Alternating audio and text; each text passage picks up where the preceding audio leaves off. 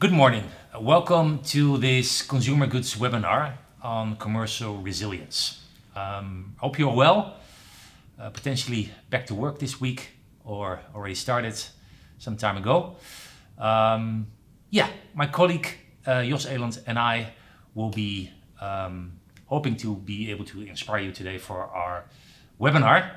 My name is Onno Olderman. I'm a managing partner for our uh, Dutch and UK offices um, and acting from our Amsterdam office. Now, currently, many global developments are taking place, affecting our lives and well being. Um, the development affecting our business in consumer goods and retail the most is COVID 19.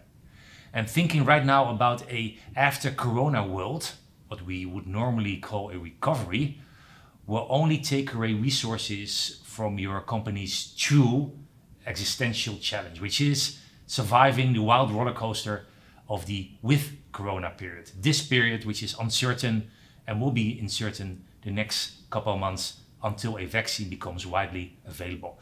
And this is the topic that we have today. So, uh, Jos and I uh, hope to give you some practical examples and inspiration from our uh, deep global experience in consumer goods. Now, I've seen that um, the people participating today are not all that familiar with Simon Kucher, so I give you a short introduction, Simon Kucher, two slides before we kick off.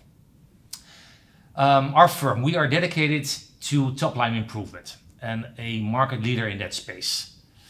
Um, when it gets to pricing, we are world market leader. We have uh, our employees in more than 39 offices worldwide, um, 1,400 of them uh, dedicated to what we call top line power which is enabling our clients to be more effective in marketing, sales, and pricing. So sometimes it's a revenue growth program, sometimes it's a customer centric digital project, sometimes it's a program on pricing, trade terms, and promotions, but very often it's the very practical uh, negotiation, value selling, or setup of key account management.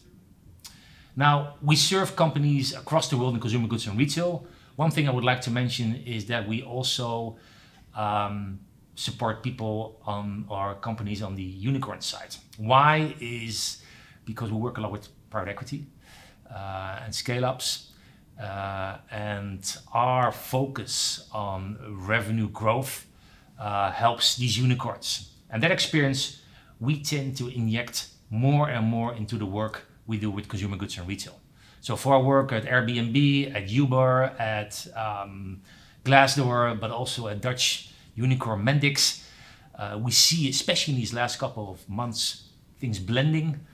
Um, the best practice from the unicorns, we tend to incorporate those as well in consumer goods and retail. So today we come up with some examples of that uh, and hope to inspire you on those topics.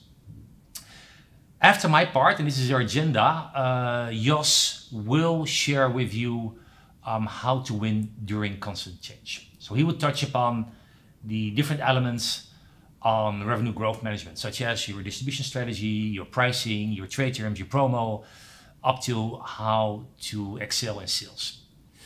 Um, for my bit, I will start with um, sharing with you our thoughts on the uh, resurgent crisis and how to achieve commercial resilience. Now, this is a picture, um, or this is a slide that I've shown during our commercial response webinar on April 9th. Uh, these are pictures of the BBC taken on April 2nd at noon in these cities. So, the Leidsestraat in Amsterdam, um, the Tower Bridge in London, the Eiffel Tower in Paris, Madison Square in New York, the canals of Venice, all of them empty. It's a uh, symbolic demonstration of how life as we knew it came to a standstill. Now, things and restrictions have been relieved, but still we are far away from the times we know, and um, we expect that to continue. Now, two trends are already sure to durably influence our lives. And the first one is the acceleration of digital Compared to 2019, we have the phenomenon of physical distancing. And that will permanently influence our social behavior Uh, we see it every day, um, but also our mobility. Consumers are fast track educated on being informed, ordering, and being serviced online. Our kids being educated online, unfortunately, for a long period to come. And also, uh, we'll see the increased shift in all sectors towards the digital channel, whether it's business to consumer or, or B2B. Now, the second big trend will be deglobalization, or better, what I call the slowdown of globalization. So, governments are expected to increase control over vital functions in society, and businesses will be, need to adapt to these local needs and regulations uh, for their supply chains, demand allocation, and pricing with, uh, to experience and to deal with these local constraints. Now, these are global trends. What happens to consumers? Um, when we talk about consumers, the, uh, we see that the current trends will be accelerated. For example, on healthy living, or as I call it, minding myself. Uh, it will be a priority for many consumers after the forced social distancing and isolation uh, but also dealing with the effects of stress and worries. We'll have acceleration on artificial intelligence and what we call beyond human, uh, because we want these technologies to uh, simplify our lives and automate our daily routines. Third, the multifunctional home. Homes will become, uh, are becoming our working place, uh, our gym, uh, our restaurant, and also here, I expect a acceleration of connected devices and virtual living to take place in the period to come. And last, we'll touch upon that uh, a little bit more today as well, is of course the digital shopping information, where um, consumers are fast-tracked, educated to book online for health and safety delivery, etc. So we have these global trends, these consumer trends, and businesses are experiencing that. So consumer goods uh, see that uh, they have to uh, deal with the rapid change in the market, with the pandemic conscious consumers, causing stockouts of essential items, both on shelf and online.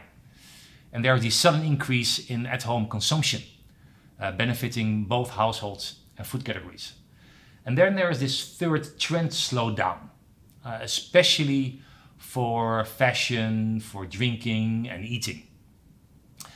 Um, I like the quote of Giorgio Armani, who expects a slow fashion to kick in, um, where uh, we will have this certainly re-evaluate the overall value chain of the um, fashion business model. Uh, there will be more loyalty towards usual shops uh, and brands. Secondly, there's a shift in consumer demand profiles where consumers begin to act more price sensitive, willing to trade down to basic items and private label, but also that consumer consumption will shift towards more pantry stocking occasions and less for the impulse buy and immediate consumption. And last, there's the trend on physical spacing that will have that will affect propositions uh, and pricing because this is a value this is a value driver um, for safety, um, for cost, uh, and for cost, uh, consumer perception. Now, let me explain that because what does that mean? Um, in our uh, new six feet economy, named after the distance between two persons that should be applied to prevent infection, uh, this will be the normal for a longer period. And for many industries, this will increase cost and lower capacity to deliver goods and services. The critical challenge for the affected companies will be to what extent they are able to renovate their value proposition and pass on those cost increases to customers. Let me give you three examples um, with physical spacing as a, uh, a, safety drive to start off with, where you see here this little greenhouse next in the canal of Amsterdam. It's, it's a known example, most likely you are aware of it, where you can have uh, dinners, uh, the two of you, uh, for a slightly higher price. Uh, but this is a good example how this restaurant played in into the uh, safety driver element of physical distancing. Second is the cost driver bit. And many uh, restaurants in the US have started to use a COVID surcharge uh, on the bills uh, to compensate the revenue loss from the past and, and what they experience right now with, with, with customers. And last is um, the one which is on the rise. Of course, using the physical distancing as a value driver and to reinvent alternative business models to cope with the six feet measures, such as here the cinema uh, drive-in. Um, uh, looks like Grease from 40 years ago, the movie. Um, but you, you see it here as well. You see it in gyms. You see it in theaters. So um, many companies need to deal with these new measures, and but also these new uh, consumer behaviors and value drivers. It will impact their daily lives, but also the businesses because you suddenly have the uh, renewed target group such as family, uh, which you need to uh, adhere to and see as a very important group for the years to come. Uh, but also on the simplified lifestyle, you need to reinvent your propositions. But also on home cooking. Uh, what are the services that consumers want at home when they're cooking, uh, including the home entertainment, uh, which is boosted, which was there for your kids, uh, which is there too much, probably for your kids, uh, but also, of course, um, for elderly as well, uh, with the spare time they have more than they had before Corona. So companies need to rethink their propositions and pricing in this six feet economy. What we see uh, on responses from the companies that we uh, that we uh, we serve are are, are many adjustments. It's adjustment operations to meet increased demand. It's the rationalized shelf offerings offerings. It's the resisted sharp price adjustments uh, to prevent steep discounting or price gouging. It's the rollback promotions because you don't need to do a lot of promotion for certain items or you need to stimulate others. And, and Jos will come back to that later on. It's also about packaging uh, with newly introduced or repurposed uh, packs that are now in the market. It's the improved understanding on consumer behavior, uh, data insights, um, using market data to deal with this new situation, but also looking at under-penetrated channels up to rapidly redeploying sales teams um, from uh, away from traditional territories to deploy the high demand channels. So this is what already has been done. The question is what needs to be done next? And in Holland, uh, we know uh, this phase, it's uh, Hugo de Jonge. Uh, we can expect that the herd immunity uh, is far away and um, is not a goal itself for government. The latest estimate is that about 5.5% of the Dutch population has been infected, which is not the 60% which is connected to herd immunity. So the virus is unpredictable in many ways. Um, it may revive in the short term after measures are eased. It, it may be seasonal and revive in autumn together with the, with the flu. Um, but it might also weaken over time. But at least for the first two options, we will not get, not get back to normal until a vaccine or a, a revolutionary treatment becomes available, uh, which might even take up to two years. Um, so, uh, what can we expect? Now, three things will hold true during the corona period. And first of all, um, forget about demand patterns. Um, this will be not like any economical recovery. Um, so the prediction that you normally expect in books will not happen here. Second, forget about the alphabet recovery.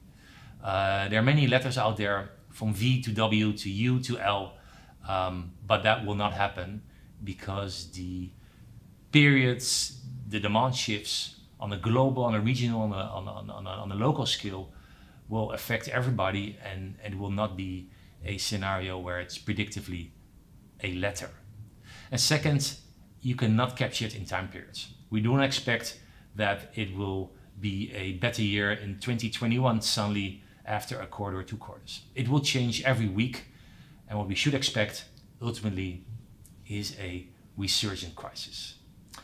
And what is a resurgent crisis? A resurgent crisis is that you should expect an unpredictable development of the crisis uh, with a common rise of COVID 19 and measures in different parts of the world and lockdown affecting us, as you see in this graph. So what does that mean for demand? Demand levels will change accordingly. There might be a cautious rebound as we experience it right now, at least in the feeling of many in Holland. Uh, but if it might be followed up by uh, again a drop or a pent up demand until we get to this sustained growth. So for many companies, they need to be agile in their go-to-market model and their supply chains, both within countries but also across countries on a regional level. Now, um, we would not be a good consultant if we would not have a two by two matrix for this. Um, so here you see a uh, two by two matrix with uh, go-to-market on the x-axis and, and demand shifts on the y-axis. And um, what's interesting is that the impact per industry uh, uh, is different, um, uh, differs substantially uh, in effect. So, for example, for the most threatened um, on this bottom corner, you see that their go-to-market model is highly impacted, but and also that demand is below what they expect from 2019. So think about travel, hospitality, automotive. There are in in in a in a deep dip uh, to get out of it. If you think of the other category of the overweight, such as oil and gas, utilities and chemicals, demand has severely dropped, but their go-to-market is mostly untouched. And their challenge is primarily to deal with the demand drop, whether it's short-term or, for example, for oil long term. The third category, the overwhelmed category, has surging demand, but uh, with an inadequate go-to-market model, such as groceries, household, and banking.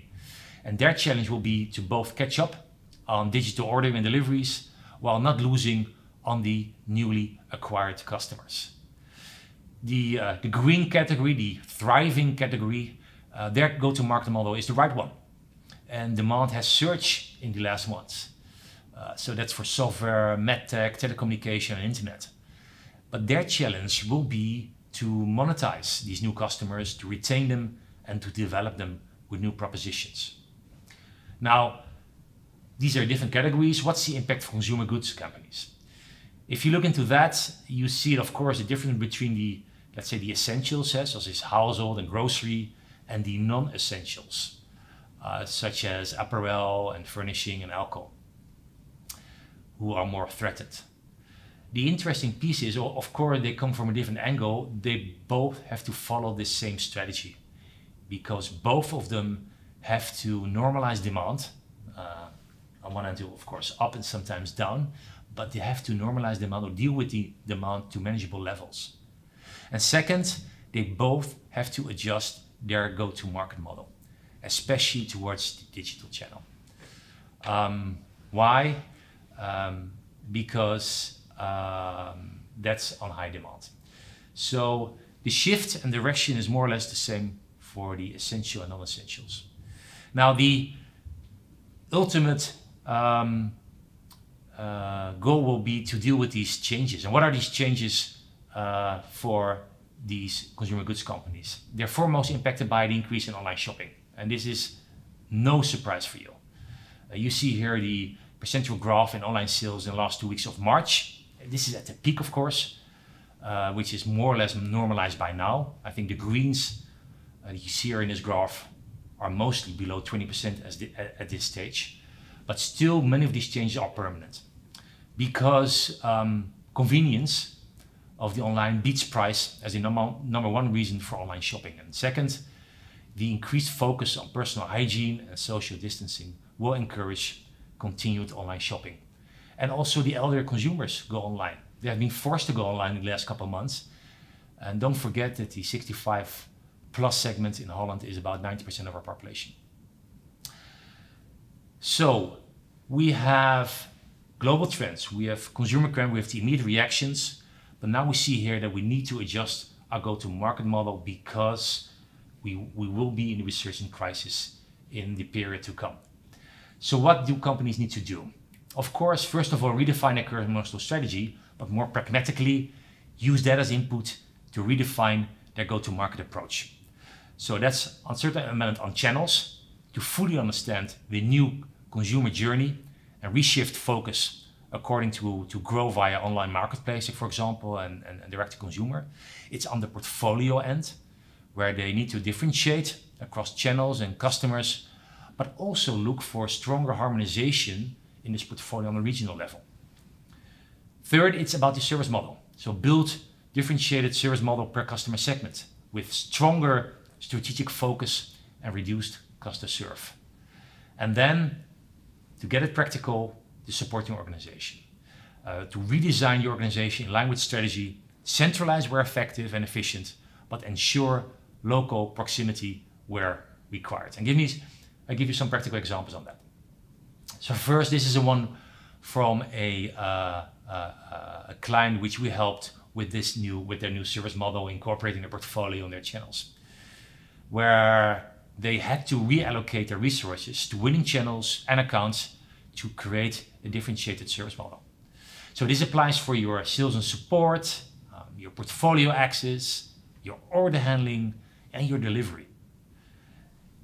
You differentiate by these segments, uh, your service level for strategic customers versus consumers, but also for these smaller field accounts.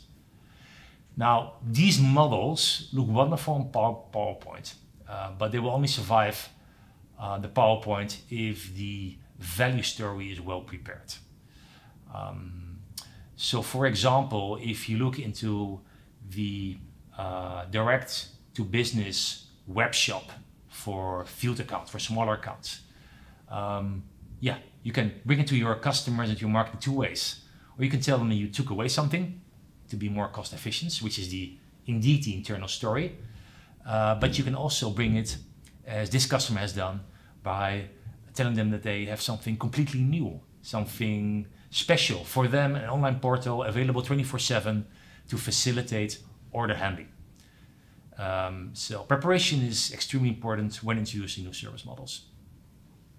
Now, uh, second is, of course, how to deal with this digital boost. And Amazon is, of course, in the heart of that. And locally, it could be bol.com, it could be Coolblue, but Amazon is the heart. And we've supported multiple consumer goods companies to est establish a true key account management for Amazon.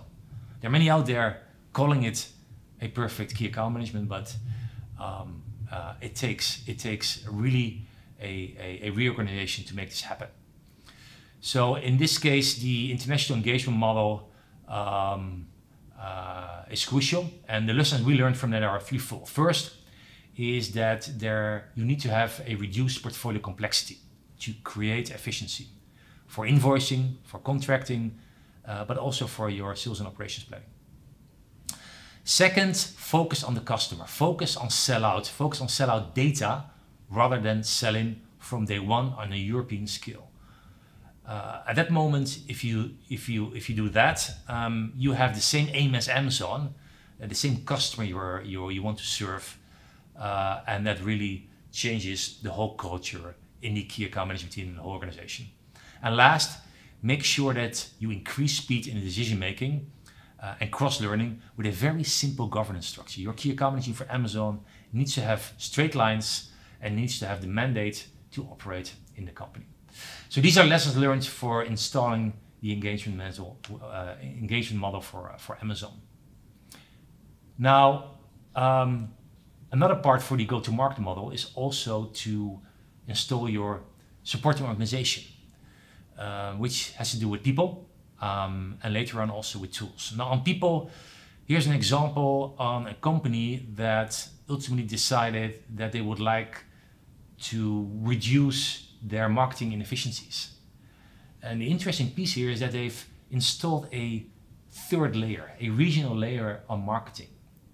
Because the issue with this company was that there were many local marketing organizations reporting to the global uh, US operations, and uh, it was incredibly ineffective, um, uh, which required a lot of country organizations to beef up their marketing uh, teams by installing a regional team, they were able then to translate global value propositions more pragmatically into relevant local solutions, where uh, the regional team defined the product range, the regional product range and the pricing, but also the regional campaigns and promotions. And promotions is extremely in Europe now, extremely important to uh, harmonize with the online push. Um, this me meant that a lot of responsibility could be taken away from local, where local only had to localize international campaigns and take feedback from the local markets back to the regional and global level. The result of this um, transformation was a more than 60% cost reduction, efficiency gain for, for the company with better results. Now, uh, a second thing on supporting organization in a new go-to-market model is tools. And if I can give you one advice is for commercial resilience, uh, you have your ERP and most of you have, have SAP, uh, but you need to apply digital or agile digital solutions to back them up. So this is for wargaming, for competition mapping, for new product pricing, um, but also for trade terms and negotiations. Um, and as Simon Kucher, yeah, uh, we have those tools which we provide to our customers if there are in need to act fast and to make it stick in the organization. And very often it's done with a, uh, we call it control tower, where uh, uh, because there's so much uncertainty, uh, companies need to understand what is going on. So this dashboard create, uh, made insightful the demand forecast from range of internal, from a range of internal and external data, but also the macroeconomic indicators, uh, or the early sales funnel analytics, or the consumer sentiment analysis uh, with text mining, for example, for churn or product trends, uh, but including competitive behavior. Uh, this makes you resilient and be able to react fast on market trends. So, from my end, um, I've uh, discussed with you the overall trends, consumer trends, uh, to um, uh, redo your value propositions and pricing. But for most, I would like you to remember that you need to rethink your strategy. Ask yourself in this new era, what do your consumers want? What do you want? And how should you redefine your go to market? You have to start a building and build a new service model by allocating resources for winning channels and re-establish the supporting organization enablers to, st to stay close to the market. Then ensure a full deployment of all pillars of your new commercial strategy uh, to ensure that you have a proper governance and that monitoring is in place. Last piece of advice, strategy is clean, implementation is dirty. And for that, um, I would like to thank you for your attention for my piece. I'd like to hand over to uh, my colleague Jos Eland. Jos, the floor is yours. Thank you very much, Onno. And also on my behalf, good morning everybody. My name is Jos Eland, partner in the international consumer goods and retail practice of Simon Kucher and Partners. Um, for the next 20 to 25 minutes, uh, I would like to go through uh, five key pillars of revenue growth management and share with you some uh, solution directions on how to win during constant change. So we'll start with distribution strategy. Uh, how can we capitalize on some of the growing channels? Moving on to offer structure, what does it mean for your price setting, for your portfolio architecture? Looking at marketing and promotions, probably the part where you can fastly make changes and profitable impact. Uh, moving to trade terms, how to translate it into pay for performance conditions for your trade partners. And last but not least, sales excellence. Uh, ensure that you are prepared to translate your improvement points um, to um, successful key account negotiations by the end of this year. I will start off now with distribution strategy. And this slide is a simplified version of a project example where we evaluated uh, different channels not only on volume growth, but also on what does the channel mean for your brand presentation, for the product assortment, and for the profitability both now as well as the margin direction that we expect. And of course, Onno elaborated already on the channel shift. Pure players, probably most of you have already established a relationship with them. However, online platform third party like Amazon is one where you can actually still gain a lot of ground. But also, and not mentioned yet, is the own e-commerce platform. So that's the focus area for the next slides. Because the own e-commerce does well on your margin, does well for your brand representation, and of course, it's in your own hands what assortment is offered over there. Yet, many branded manufacturers are not able uh, to sell the large expected volumes via their own uh, direct to consumer channel. Uh, why is that the case? Well, one of the reasons why this is typically uh, a challenge is the gap between the recommended retail price, so the advised price for consumers, and the actual prices on shelf at retailers. So this is a another project example where we see on the one hand the index from the recommended retail price set at 100. That's the blue bars. And where the red bar is actually the different uh, retail selling prices that we have in the market. We see up to 20, 30% differences between the advised price and the actual price in store. Now, normally assuming that uh, your prices are set consumer driven, uh, you would not like to actually go below your recommended retail prices via your own channel. Um, just a few ideas to not directly have to move uh, to the market prices, but to add value instead of decreasing prices. So if it's 0 to 5%, then uh, that might be just what the consumer expects, right? And buying directly from a manufacturer uh, might mean that they are willing to pay a little bit more. But above 5%, our experience is that you need additional services and smart discounts to actually um, uh, yeah, increase the amount of sales through your own web store.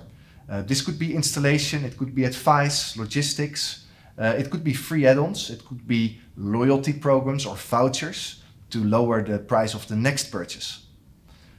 Above 10 to 20% differences between recommended price and retail selling price, you need to apply the price mechanism. But also this can be done smartly. It's not a price off on all products. No, you can decrease prices for those high runners where you want to be uh, competitive. But you could also use specific promotional periods to price match only during that period and increase your activity in your online campaigns around that moment. Offer structure. Price points, um, and what you see over here is a typical threshold curve by channel um, which you probably know. So at different price points, which you see on the x-axis, um, from zero to four euros, there's a different acceptance or the amount of consumers that are considering buying the product at that price. Now, what we see is that the magical price points are still there 0.99, 1.49, and actually they also converge over the different uh, channels that we took here supermarkets, kiosks, and vending machines. But there are some responses that are different. Now, more and more, these magical price points are key to win. Consumers are downtrading more to cheaper brands, private label brands, which means that you have to be competitive on your opening price point. Or they are downgrading to smaller packs or switching to substitutes or categories, which means actually that um, what we need to do is to ensure that we get those magical price points and we concentrate our offering around those more than before and also communicate more than before that we are pl playing in those price petitions where also the price consu uh, sensitive consumer is active. So it's not only about the price points, but it's also about the amount of SKUs that you offer on those magical price points. And that you see in this slide, where we on the one hand look at what is the utilization of price points at the moment. So for example, at 50 euros, we see that it's utilized for 10% of the SKUs. Uh, and what is uh, the optimal utilization? So that would be in this case 15%. Now, looking at the shifts in the current consumer behavior, it might well be that the pictures that you had before might not hold true anymore. For example, in this project example, the 50 euros opening price point became more important. So there is actually room to improve the amount of SKUs at 50 euros. At 60 euros, which is a very strong threshold for this category, we are actually overutilized and we could uh, lower the amount of SKUs there. 65 euros, currently overutilized, might move some SKUs in the price range to 70, 80. And as usual, more differentiation is better when it comes on a pricing perspective. So where 50 euros should have become a more important opening price point, there's also room to increase the number of SKUs at a 100 euros plus price point. This picture is just to uh, inspire you on what we think is best practice, is translating these choices in your price points, translating these choices in your portfolio architecture to a picture of success. In which revenue pool, for example, hypermarkets, uh, do you want to address which target segments? Family, professional, and what are the occasions why they shop there, right? Because that indeed has an uh, impact on what brand you want to play, with what package, at what price. Activation levers might also change compared to before. Very important activation levers at this moment, value additions, special packaging, product bundling, multi-buy products, and couponing. Promotions, um, probably, as I said before, the one where you can most quickly react. Uh, and there's two parts of promotions. It's on the one hand, what is the ideal promo pressure? And on the other hand, how effective are my promotions? Because something is uh, changing there. The key challenge is to improve now short term on your promotional performance, focusing on upselling promotions. Uh, re engage with your retailers to change the calendar that you set at the beginning of the year because the rules of then are not applying anymore. And of course, from a consumer's perspective, um, thrive on the new trialers that came to your brand over the last months or winning back switchers that went to uh, cheaper options. Um, re-evaluating, and I will come back to that later, the promotions more frequently is key. Those companies that have actually invested in artificial intelligence, that have invested in machine learning to get quicker access to promotion effectiveness results, are the ones that are now best equipped to improve their profitability. Promotion pressure, one side of the coin. Um, here you see a two by two matrix on, on the one hand, the pressure competitive and the category growth. Um, key message here is ensure that you know where you are on this matrix and what is the consequent competitive pressure and category growth, hence your promotional pressure. Many companies, of course, are having promotion pressures of up to 30% or more when also consumers get addictive. This is the moment to re-evaluate that and to see whether uh, competitive pressure has actually decreased or increased and whether the category is growing and do you really need all those promotions at that time. But besides the pressure, it's also, of course, uh, the effectiveness. So we look at effectiveness from two perspectives uh, two perspectives, the volume uplift and the return on investment. It might well be that those top performance that you see here in the top right corner are not performing that well anymore. Or that some volume generators are actually now value destroyers.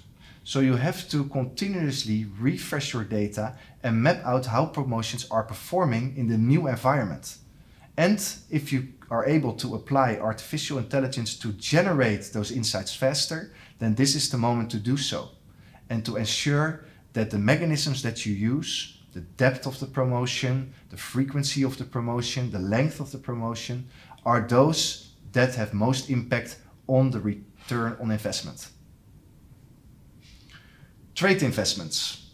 Very important, of course, um, to ensure that what you have in mind for your portfolio strategy, for your pricing strategy, also is applied by your trade partners. Now, many things that are going on here have always been there, right? Your terms might be historically grown, uh, retailers have a certain performance, um, the visibility of gross to net is difficult. However, um, some things are fast tracked by COVID 19. For example, the increased price pressure but also the lower net net prices that request is requested by your uh, trade partners. And last but not least, the price gaps or inconsistencies between products and markets are exploited more than before. And why? Because over the last years we have seen that the development of RRPs went up and you would have expected that net prices go in the same direction, right? so that the total trade margin is, is the same, the theoretical trade margin. But what has happened in practice for many companies is the one on the bottom, where RRPs indeed increased, but the net net prices stayed stable, which leaves a lot of room for your trade partners to pass that on to consumers. So actually not apply your recommended retail price, but could also be um, giving room for unconditional, historically grown uh, trade terms to stay intact and actually giving money to trade away without any counter performance. On the customer level, if you go one level deeper in your analysis, you often see these type of pictures where list prices are customer specific, the total trade margin is customer specific, and net net prices are varying largely. And of course, if you speak to um, uh, to people internally, there's always a good reason, and there has been a good reason why certain deals have ended up in a certain way. However, years later, it might now also become the reason why you are not defendable anymore. And if international uh, players like Amazon ask you for European list price or European net net prices, it becomes quite difficult to give them one answer and be defendable for the long term there. So our recommendation here is of course that uh, to more than ever now look at what part of your trade terms you want to keep, which elements are in line with the current channel shift, but also to add new components to replace unconditional discounts that you currently have in your system. For example, new components could be um, typical online components like above the fold uh, placement of your products, uh, search engine optimization, things that are more important now than it was before. And of course, fixing outliers. Those customers that are below your net net price level should be fixed now in order to keep profitability up over the next years. This is just a long list. I won't go into detail uh, of uh, typical trade terms that you can use there. Most important to mention is that you have to have a balance between market-driven trade terms, those that increase demand for your product, and those that actually decrease the cost to serve, which are we call efficiency-driven trade term elements. A combination of those, replacing old ones with new uh, ones, uh, applying a new system and ensuring more um, defendability between your customers uh, is the, the, the, the key thing to prepare yourself for upcoming key account negotiations with international trade partners. And that's actually the last piece, uh, piece that I want to talk about now is sales excellence, right? Because more than ever, it's important to prepare in depth your key account negotiations. So in our experience, it's about 70% preparation and 30% execution. However, in practice, we often tend to do it reverse. So we have asked to uh, many uh, international uh, sales professionals, what kind of atmosphere do you expect for the upcoming negotiation talks? More than half of them said retailers will be more aggressive. So be prepared that procurement is already uh, preparing their planning to put you under pressure. How can you, as a company, actually help them uh, become profitable in the coming period? And the good story to trade there is, of course, a win win story to trade. And win win, first of all, means focus together on the products with the highest gross margin. Focus on them, protect them, invest in them. However, one thing that's super important for the upcoming negotiation is to ensure that all products become uh, profitable because the portfolio mix is not stable. We don't know which products will be sold more or less in the upcoming ups and downs and waves of corona that we have ahead. So cut those unintended uh, non-profitable products or at least limit them as much as possible and ensure that all your products have a certain minimum profitability in place. Be prepared for the next uh, uh, negotiation round. I mentioned it before. It's threefold. First of all, ensure that you have your script ready, your story to trade and battle cards. Uh, prepare tailored arguments for specific channels, specific customers. And of course have differentiated price moves uh, based on the history and position of that customer. Have your contingency plan ready, the different scenarios, the implications of the price moves, and model the price scenarios out to ensure that you can timely react during the process. clearly predefine escalation levels and countermeasures. Training, tools, alignment, uh, important to be prepared not only from a top-to-top -top perspective, but the total sales force should be prepared to explain a win-win scenario uh, for during and post-COVID-19. All in all, that was my five solution directions or to have an impact in the coming uh, period to come on your revenue growth management, on distribution, on your offer structure, marketing and promotions, trade investments, and last but not least, sales excellence. Um, also on behalf of Onno, I would like to thank you for your attention um, and wishing you a good working day. Please don't hesitate to contact us in case of any questions or remarks. Bye bye.